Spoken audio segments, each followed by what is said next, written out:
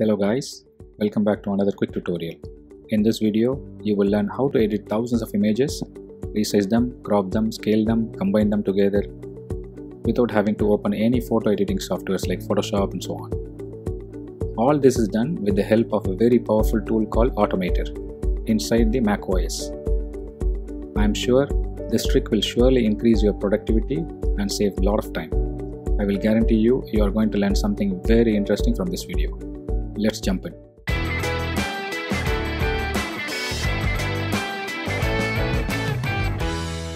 Look at these images.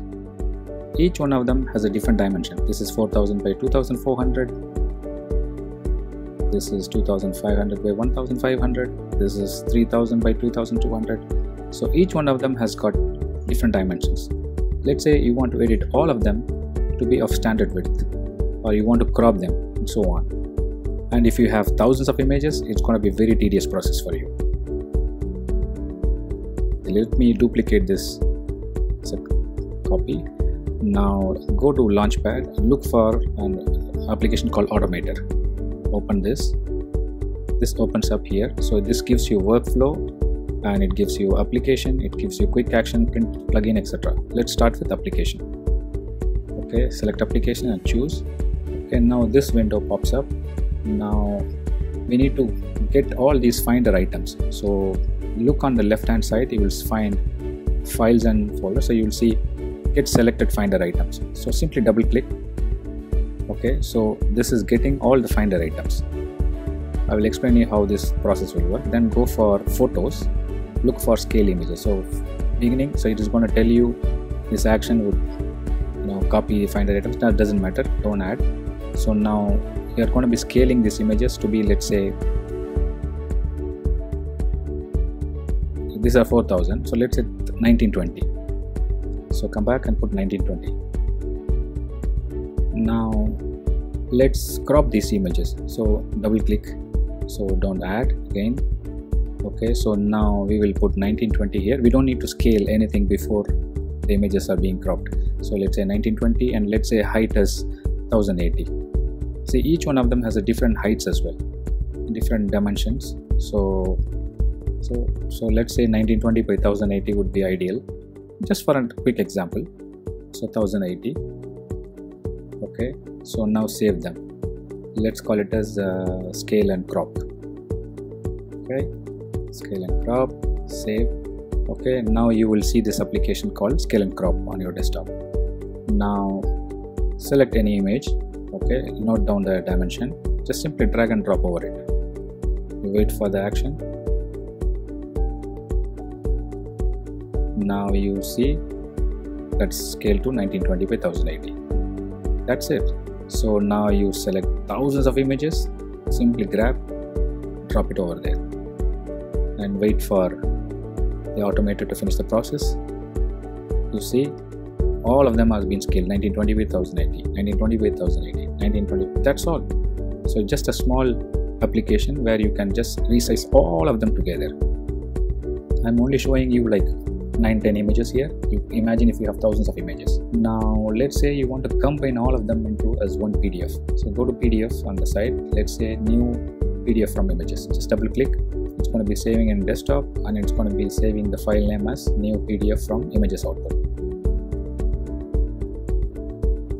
okay simply save this automation. Okay now select these images and drop it over there.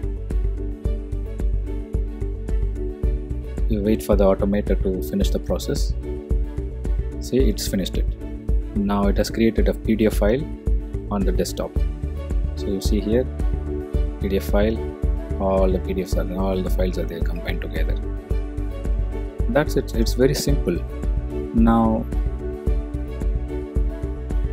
let's say you wanted to give the file name by yourself and save the output as one in one place just simply select this show this action when the workflow runs. So basically this is the workflow. Then show only the selected items. So let's say i'm going to be clicking this and let's try the same process again.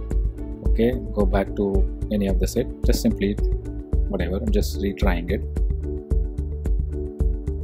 just put it over there.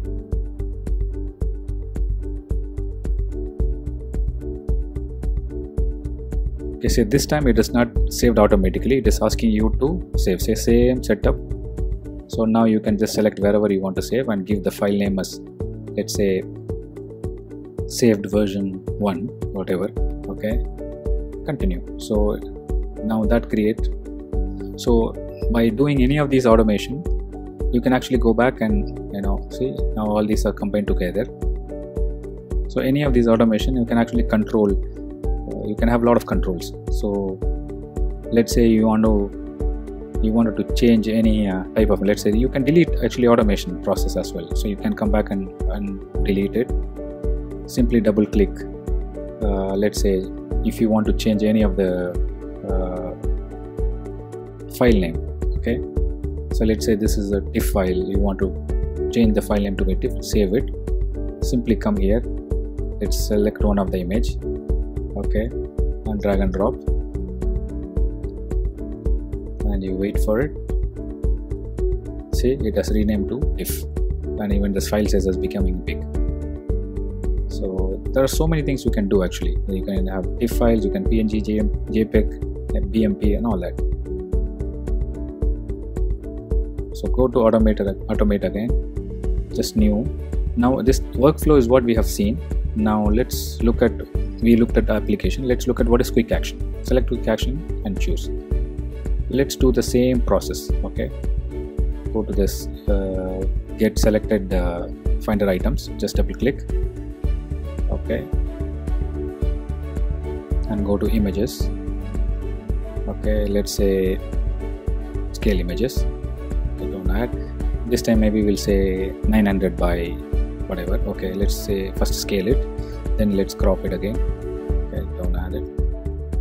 Okay now let's say 900 by 600 and if save it as uh, let's say uh, uh, resize 900 by 600 okay. Okay if you save now this time it is not getting saved in the desktop so now come to any of the image. Simply right click. Okay. You see? Resize 900 by 600 so it has become as an action right in the image itself. So that's the difference between application and a quick action. Actually you can do so many things in the pdfs you can compress the images in the pdf say for example if you want to compress any of the pdf images if the pdf file is if the pdf file is very big so you can just want to compress the images you can simply do that. You can uh, you can go to so many things you can do. So you can there are some you know mail actions pdf actions photo actions you know a lot of text actions. So these are pre-built there. That's it for now. I hope this was very helpful. If you like this video i would appreciate if you give me a thumbs up and subscribe to my channel. That would give me a motivation to do more videos and if you specifically want to know any trick kindly do let me know in the comments below i will try my best to make a video Thanks for watching.